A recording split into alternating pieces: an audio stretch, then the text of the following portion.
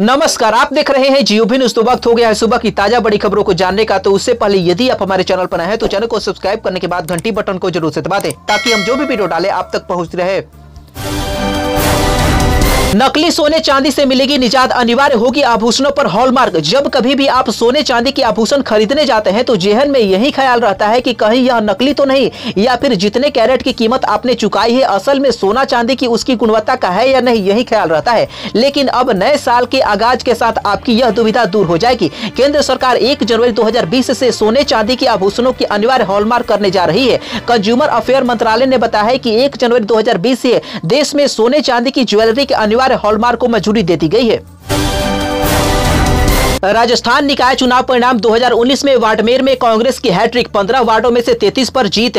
नगर निकाय चुनाव परिणाम 2019 के मंगलवार को घोषणा की जा चुकी है। वार्डमेर में कांग्रेस की जीत की हैट्रिक लगाते हुए फिर से बोर्ड बनाने की तैयारी में है। 15 वार्डों में से कांग्रेस ने 33 पर जीत हासिल की है। वहीं बीजेपी ने 18 और चार वार्डो पर निर्दलीय ने कब्जा जमाया है। सुप्रीम कोर्ट में मराठा आरक्षण के खिलाफ दायर याचिकाओं पर सुनवाई जनवरी 2020 तक टली। महाराष्ट्र में मराठा समुदाय के लोगों को शिक्षा और नौकरी में आरक्षण की कानूनी वैधता को सुप्रीम कोर्ट में चुनौती दी गई। शीर्ष अदालत ने मंगलवार को इस मामले में सुनवाई की। राज्यपाल भगत सिंह कोश्यारी ने राज्य सरकार का पक्ष रखने के लिए पूर्व अटॉर्नी जनरल मुकुट रोहतगी को नियुक्त किया था। अब इस मामले की सुनवाई जनवरी दो हज़ार बीस में होगी। आपको बता दें की आरक्षण के लिए मराठा समाज के संघर्ष के बाद देवेंद्र फडणवीस सरकार ने मराठा समुदाय के लिए शिक्षा और नौकरी में सोलह आरक्षण की व्यवस्था कर दी थी। फडणवीस सरकार के फैसले के खिलाफ बॉम्बे हाईकोर्ट में याचिका दायर की गई। हाईकोर्ट ने आरक्षण की कानूनी वैधता को बरकरार रखा, जिसे सुप्रीम कोर्ट में चुनौती दी गई है।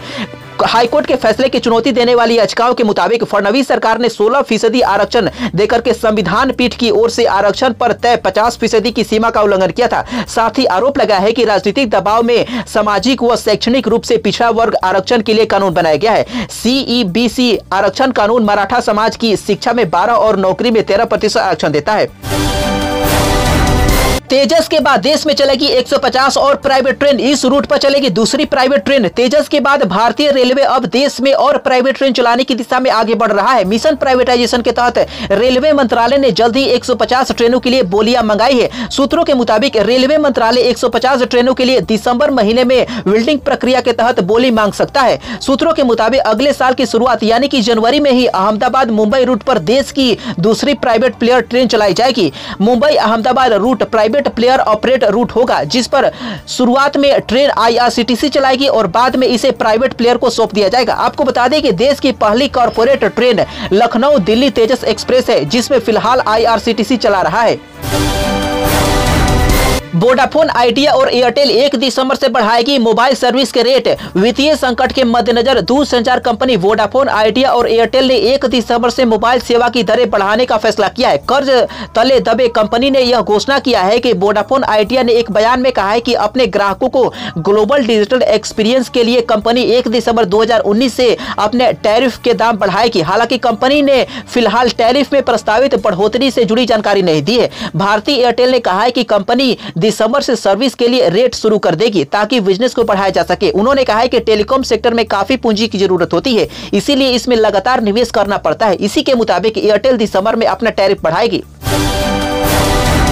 पाकिस्तानी मीडिया का दावा, भारत के साथ शुरू हुई डाक सेवा पार्सल भेजने पर अभी भी प्रतिबंध। पाकिस्तानी मीडिया ने दावा किया है कि भारत के साथ है पाकिस्तान की डाक सेवा फिर से शुरू हो चुकी है, लेकिन पार्सल भेजे जाने पर अभी भी प्रतिबंध है। पाकिस्तानी पोस्ट की ओर से सात पत्रों को भारतीय डाक अधिकारियों को मंगलवार की शाम को अटारी बॉर्डर पर सौंप दिया जाएगा। आपको बता दें कि भारत पाकिस्तान के बंटवारे के दौरान जो खराब हालत दोनों देशों के बीच पैदा हुए थे, उस दौरान भी दोनों देशों के बीच डाक सेवा जारी रही थी और इतने खटपट के बाद भी यह बंद नहीं हुआ। लेकिन अब भारत पाकिस्तान पाकिस्तान के बीच बढ़ते गतिरोध के बीच 27 अगस्त के बाद से भारत और पाकिस्तान के बीच डाक सेवा पूरी तरीके से बंद थी।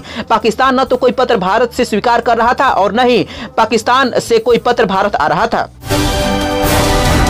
आरबीआई के ब्याज दरें घटने के बावजूद महँगा हुआ आम आदमी के लिए कर्ज लेना भारतीय रिज़र्व बैंक द्वारा कर्ज सस्ता करने के बावजूद लोन लेने वाले को फ़ायदा नहीं मिल रहा है। महँगाई दर और आर्थिक वृद्धि में गिरावट को ध्यान में रखा जाए तो कर्जदाताओं के लिए ब्याज दर बढ़ रही है। विदेशी brokerage company of America Merrill Lynch ने एक रिपोर्ट में कहा है की वेस्टेड एवरेज लैंडिंग रेट दर अप्रैल से ज़ीरो फ़ीसदी बढ़ी है। आपको बता दें की इकोनॉमिक ग्रोथ दर चालू वित्त वर्ष में जून के तीसरे तिमाही में पाँच फ़ीसदी रही है, जो छह साल का न्यूनतम स्तर है। पिछली तिमाही से अर्थव्यवस्था के विभिन्न क्षेत्रों की वृद्धि दर में कमी और गिरावट देखने को आई है। वृद्धि दर में आगे भी और कमी और गिरावट आने की आशंका है।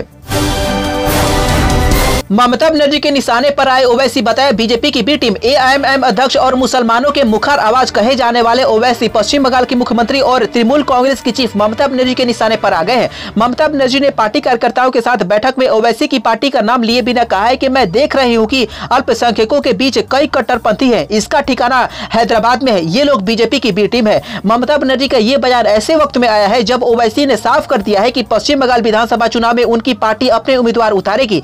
बीजेपी ने कहा है कि ममता बनर्जी को डर लगता है कि अल्पसंख्यकों की राजनीति, खासतौर पर मुसलमानों के तुष्टिकरण की राजनीति, उसको भारी पड़ रही है।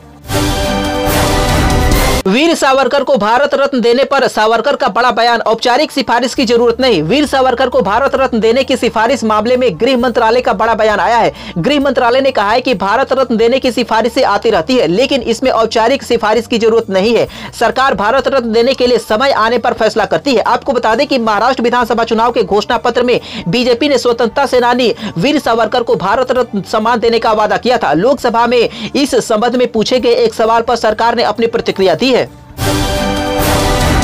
टाटा स्टील पर भी सुस्ती की मार। तीन हज़ार से ज़्यादा कर्मचारियों की करेगी चटनी टाटा स्टील अपने यूरोपियन ऑफ़िस से तीन हज़ार से अधिक लोगों को नौकरी से निकालने की योजना बना रही है। कंपनी ने सोमवार को कहा है कि अतिरिक्त आपूर्ति, कमज़ोर मांग और उच्च लागत के चलते कंपनी ऐसा करने को मजबूर है। समाचार एजेंसी रूटर के सूत्रों के हवाले से बताया गया है की टाटा समूह के यूरोपीय मुख्य कार्यकारी हेनरिक एडम ने पहले ही आंकड़ा दे दिया था कि कंपनी जल्द यूरोपीय बाज़ार से नौकरी में कटौती कर सकती है। टाटा ने एक बयान में कहा है कि वह अपने यूरोपीय परिचालनों में तीन से अधिक कर्मचारियों की संख्या में कटौती करके अपनी परफॉर्मेंस में सुधार करना चाहती है। भारतीय कंपनी टाटा स्टील, जिसमें अपने यूरोपीय कारोबार को मज़बूत करने के लिए जून में एक परिवर्तन कार्यक्रम शुरू किया था, जिसमें कंपनी ने नीदरलैंड और वेल्स में स्टील निर्माण शुरू किया था।